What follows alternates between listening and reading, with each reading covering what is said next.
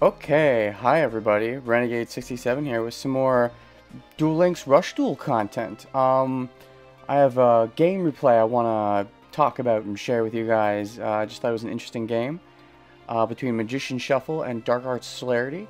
Uh, this is a bit of an outdated build for me for Magician Shuffle, um, but uh, this is from when I, around the time I first got my third copy of Dark Magician Girl, which was the last card I needed three copies of to fully complete the first box set. So nice to have that done. But uh, yeah, this is the build I was running uh, for the duel.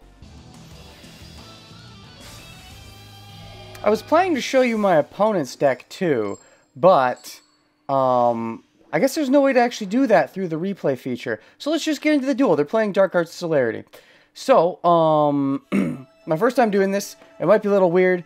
Uh, there's going to be some interesting turns I want to talk about, but, uh, so, starting off, uh, well, what did I do? What did I do? Who went first? My opponent went first. What did they do? Going second.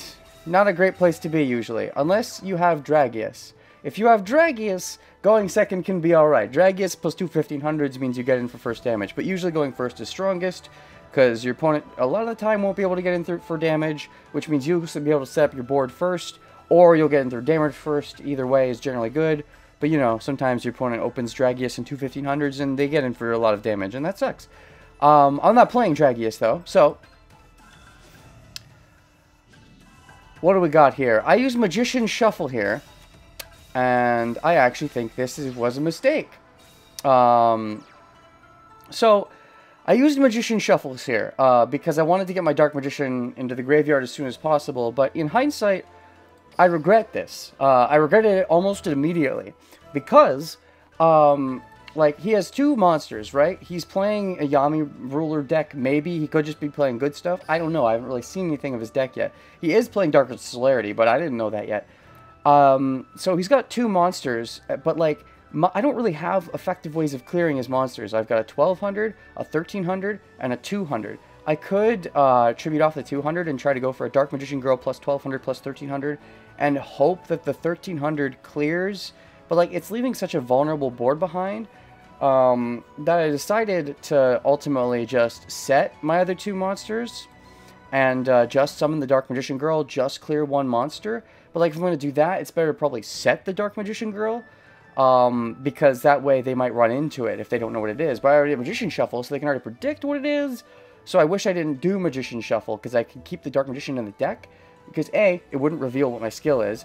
Um, B, it wouldn't reveal I have Dark Magician Girl, and C, it keeps the Dark Magician Girl in the deck. So if uh, if I'm gonna set the Dark Magician, I mean, it keeps the Dark Magician in the deck. If I'm gonna set the Dark Magician Girl anyways, um, then it doesn't really matter about the offense boost. And keeping the Dark Magician in the deck means I basically have three ways to draw into Dark Magician Girl, as opposed to now, where I've gotten the Dark Magician out of the deck, I only have two ways to draw into Dark Magician Girl going forward. And this isn't a very good play because if it doesn't get in guaranteed damage, it's not really, I don't know, it's not really worth it to decrease the Dark Magician Girls in my deck by one. And it doesn't really make sense for me to summon Sevens Road here, because then I don't get in for damage, because I would only clear his two monsters, and then I'm losing a big power play in Sevens Road. So that's why I ultimately decided to just, you know, go for the one Dark Magician Girl. But if I was going to do that, I should have just said it, but, you know, blah, blah, blah, blah, blah. Because if you just clear one monster and leave them with one, six cards is still a good amount to, you know, make a comeback with. So I kind of regret this. I feel like if I was going to do this play, if I was going to follow through with Dark Magician Girl and the Magician Shuffle, I should have probably just summoned Rice Terrace and summoned the um, Thunder the Thunder and hoped the Thunder the Thunder cleared so I could get in for 1200. I think that's definitely the play. You either do that or you set three. I think what I was doing here was too middle groundy and probably incorrect. Hmm. I probably could have cleared because that was just a 1500. What was his other monster? And he summons Chemo Ruler here. Could I have cleared? Yes, I could have cleared. I could have cleared and I could have gotten in for damage. Definitely should have done that if I wasn't gonna, if I was planning to use Magician Shuffle. So oops on my part. But anyways, my opponent's about to have a big turn. They get two Chemo Rulers. That's a lot. And it's going to show one of the downsides of uh, Dark Magician Girl. She can be 2500, but she can't clear 2500 without crashing. And now... Here's my Dark Magician Girl. And he pierces. So, I think that what my opponent just did was a huge misplay. So let's talk about it for a second. So my opponent had the option, after turning my Dark Magician Girl to defense position, of activating both of his Keymae Ruler's effects and attacking me directly twice for like 5,000 damage, and he would have been able to preserve his Pierce, which means that because of his Dark Arts Celerity skill, at almost any time on a future turn, he could have probably killed me, like really easily, really easily. The only reason to not do that, to hold off, is if he's fearing dying. Um, and like, you know, because clearing two monsters is nice as opposed to leaving me with all three, but he has like two 2500s, that's 5,000, plus his 6,000 life points, that's an 11,000 wall against his life points. And it is possible to break through 11,000 if you're like on Dragius, but he's also got two 2500s. So it would have to be something like Rice Terror Secure, plus an Aqua monster face down. Um, uh, and then flip those up, use Rice Terror Secure, discard a high level monster that's 1 and 2 is Rice Terrace and Aqua. Third is the high level monster you're discarding. You switch both of uh, his Keymae rules to defense position. Then your fourth card is you tribute summon a Dragius. Fifth and sixth are tribute fodder for your seventh card, which is a second Dragius. And then your eighth card would be any 1000 or more attacker. That would be lethal. But he's seen that my skill is Magician Shuffle, so he knows I can't be playing Dragius. And the only other way to deal that much damage without Dragius is with Katarna, who has the 1000 life point cost, which I wouldn't be able to pay because he's putting me down to 1000 life points on this turn. So there's just no way for me to kill him on my next turn. I guess there's triple threat Thunder that I could put one of his monsters to zero, but I had a Dark Magician Girl clogging my field. So I would have to tribute off my Dark Magician Girl at the very bare minimum if I wanted to use triple threat Thunder. So that takes like what? I would have to tribute Dark Magician Girl. Uh, no, you can't run Dian Keto. You can't run Dian Keto in Magician Shuffle. There was no possible way for me to kill him on the following turn. So I think it was definitely a mistake for him to not just attack twice for directly for 5,000 damage. Yes, you let me build a big board for 8 cards, but you can so easily kill me out of nowhere with a Pierce in your back pocket like that. Um, and in addition, you're still leaving me with one monster even if you kill two of my monsters like this, which means um, I can still have six cards to work with, which is a decent uh, like board to build a comeback with. So I just, I, I cannot agree with the way my opponent played this. But anyways,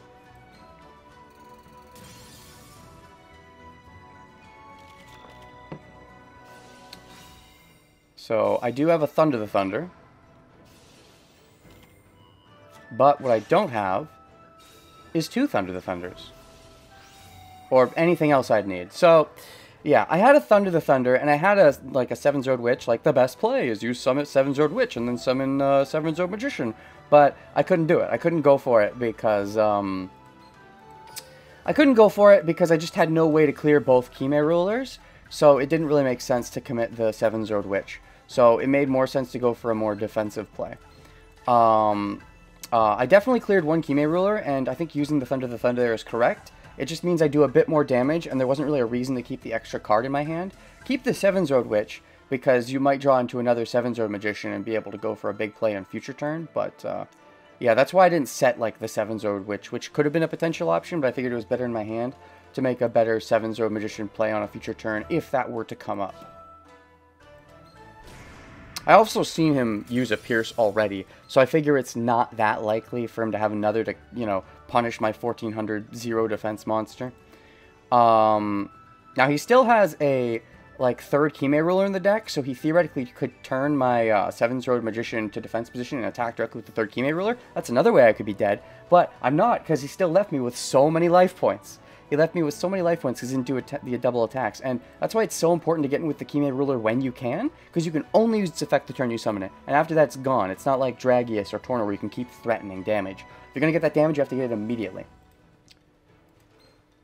So, I'm not in that much damage of dying here. He's going to use Bonded Bowing. I think Bonded Bowing is a bad card. Real talk, I think Bonded Bowing is a bad card. MBT made a video talking about how it's super good and you want to run it at 3, and I think that's just wrong um, it bricks you so much, like, because, like, you need to get a level 7 or higher. That's the problem. You need to get a level 7 or higher warrior to summon it. But if you're bricking on high-level monsters, it's not like you can summon a low-level warrior and use this. No, because you need to get your high-level warrior in the first place. It's like a cycle that turns your Yami Ruler, like, into attack position. But you only need to be using Yami Ruler's effect maybe once or twice in the game, and you probably just can use your, um, Nandes, the Fire Awakeners, to trigger it often enough I think this this card is just bad. I think it takes too much resources to make it just a cycle. It's just a cycle, and it takes too much to even get to the cycle. I feel like. And it's only better than just a cycle if you have your Yami ruler, but you're not even always going to have your Yami ruler. Like in that case, he just had it as a cycle. But it's potentially could be a dead card. I don't know. I think it's cope. I think Bonded Bowing is uh, not great. I think you'd rather just be at a level, have that as a level 4 or lower monster. Pre-cycle your card. Just play the card you'd rather have, that you'd rather draw with this, which is level 4 lower monsters, so you can actually tribute summon your high-level monsters and not brick on them. That's my thoughts on Bonded Bowing at the moment.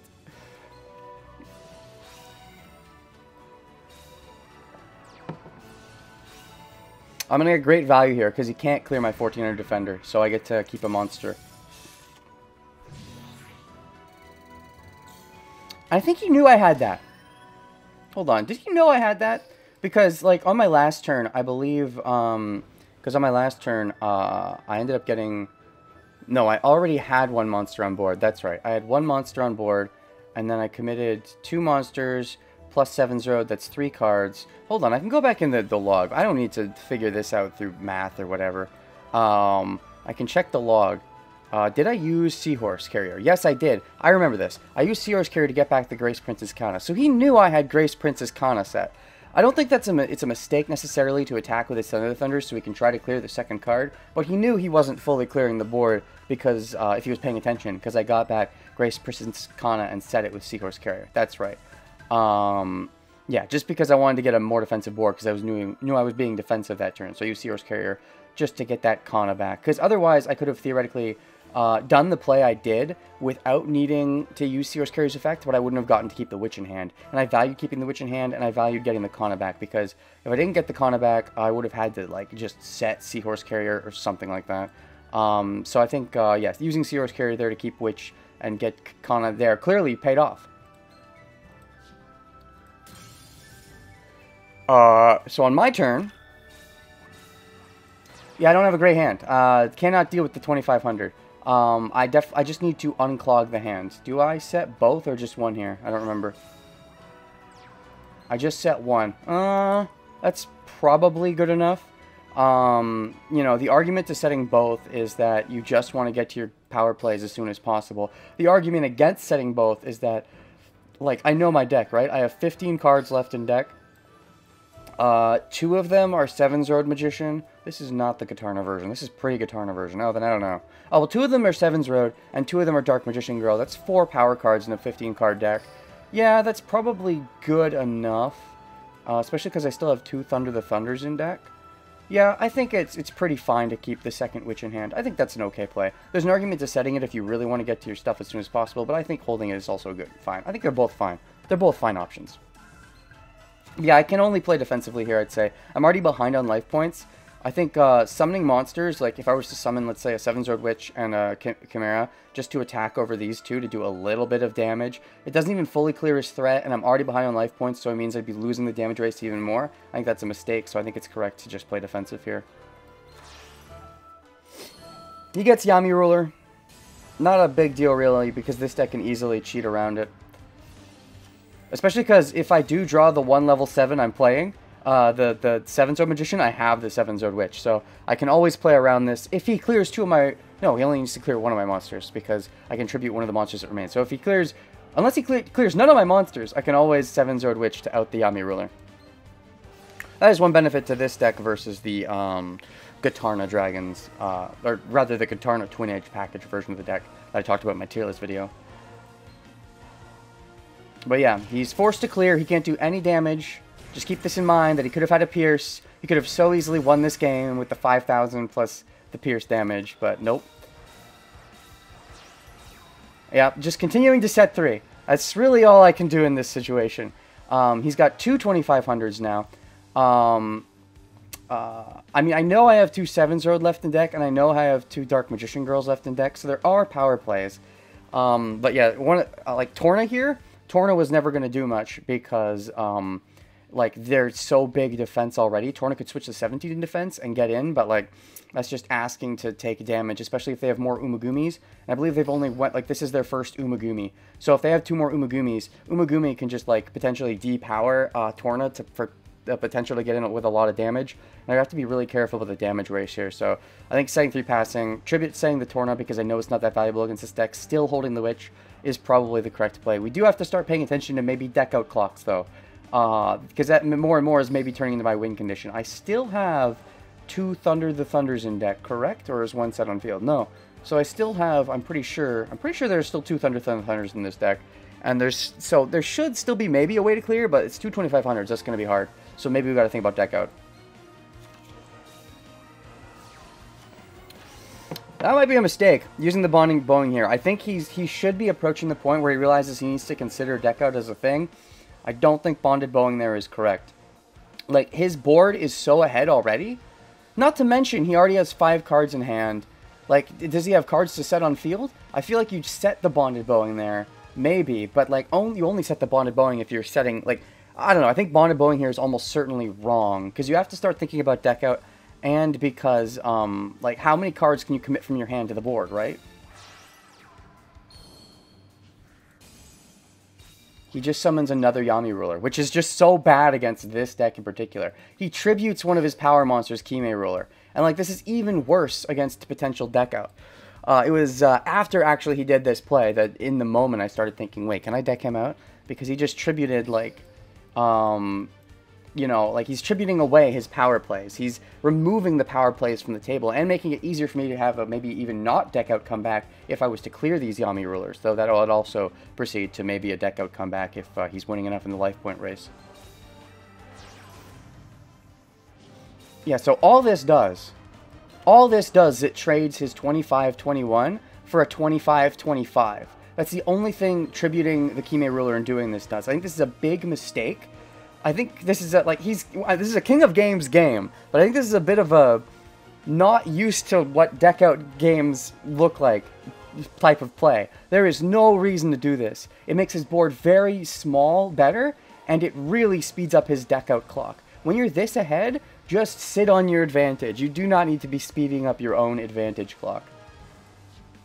Your own deck out clock, I mean.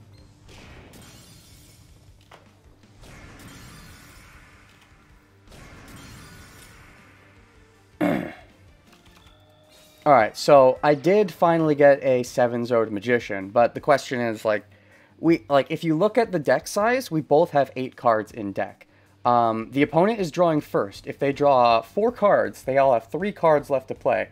But they don't necessarily have to play any of them, which means they could still have 3 turns before they die. Whereas I'm going to have to be, if I want to survive, committing like 3 quarters to the board each turn. So I can't just set three and pass each turn and hope to win. I have to make some kind of push here. I have 3,900 life points. That's okay. So I'm going to be uh, going for my witch play. I was holding that witch for a while. I can finally use it.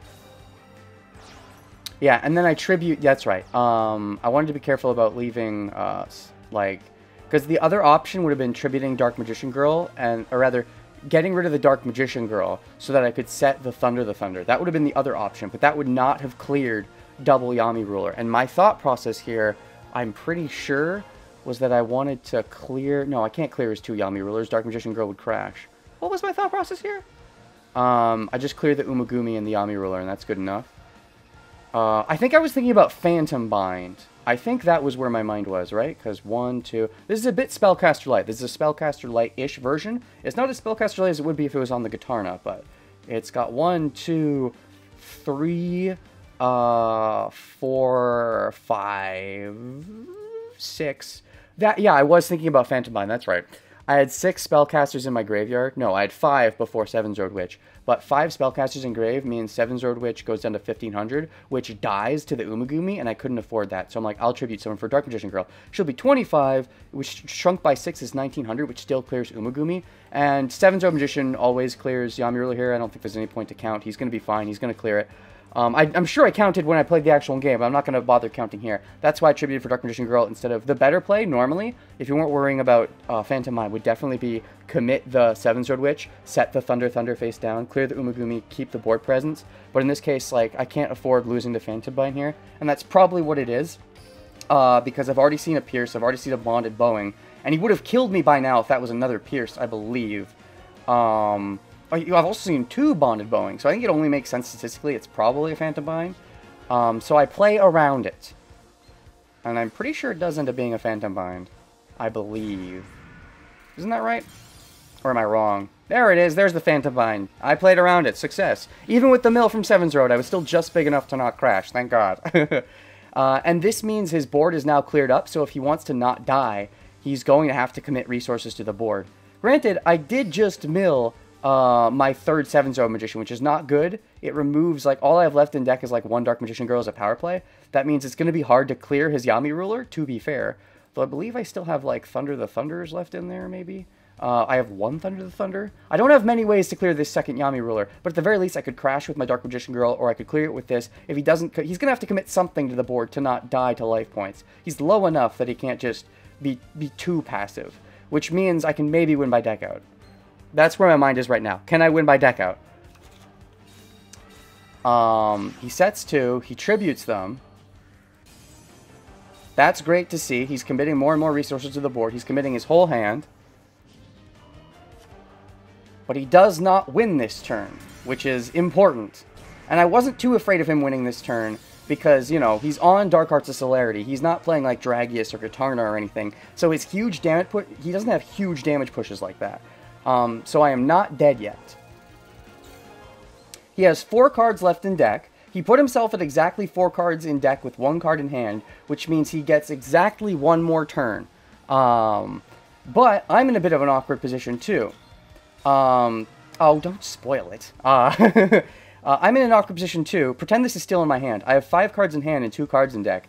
If I can set three and pass and just hope he can't get through, then I would win, right? But the thing is that if I set three and pass, even if I set Seahorse Carrier, set Kana, set Thunder the Thunder, keep two cards in hand, I only have two cards in deck. That means I would die on my next turn because I wouldn't be able to draw the full three cards because you deck out as soon as you can't draw as much as you need to draw for the drawing up to five cards requirement. Um, but then I realized something. I have 2,000 life points. I've got a Seahorse Carrier with 700 attack. He's got a Yami with 2,500 attack. 25 minus 7 is only 18. That does not kill me. And uh, if I use this, I get one more resource back, which means I can hold, I can still set two cards, hold a third card in my hand, still have two in the deck to give me a one more turn while still committing three resources. It puts me at 200 life points, and it means I'm dead to like so many, like any debuff would kill me here. But I wasn't really thinking, I didn't actually spend time in the moment to think about what could kill me because I realized this was the only way I could ever win this game. But uh, if we spend time right now and look at his graveyard, how many Thunder the Thunders are in here? Is he playing Thunder the Thunder? One, two. Uh, does he have a third Thunder Thunder? No, I don't see a third. Maybe he's not playing three. Because Thunder the Thunder is like the way he would kill me here. But I guess he's he's not playing three in the deck is what it looks like. Um, but, uh, well, I'll show you the last turn. I mean, yeah, I go ahead and get a card back, and I set two face down. I keep three, keep three in hand. And, well, I guess you'll see. Can he debuff me? Can he kill me? Oh, hey, look, Umagumi. Umagumi can buff, debuff me by 500. He just has to switch, like, one Yami Ruler to defense, debuff this to 200, and then his other Yami Ruler hits over it. But wait a second! Umagumi has to send a card from his deck to the graveyard, so that's not an out. He also switches to defense mode, which, like, do you have a Pierce? Oh, now he summons for Kime Ruler. Aha, his third Kime Ruler. Now he can win, because this attacks directly, because they're all in defense. Wait a second. Kime Ruler also needs a card in the deck. That's not an out. And he can't beat me. And I win by deck out. Oh, beautiful. Uh. So yeah, remember how he could have hit me for 5,000 at the beginning of the game? That extra 5,000 sure would have been nice, huh? And that's the game! uh, I just thought that was a fun game to show because I thought my opponent definitely made some mistakes, but also, you know, keep in mind the deck out condition. Like, when you're ahead on advantage, don't squander that by making yourself just opening yourself up to a deck out possibility. And also, Seahorse Carrier, clutch value for that one extra card. That was great. Winning with just 200 life points. Love it. Uh, see you in the next video. I've, I've at least one more of these I definitely want to do.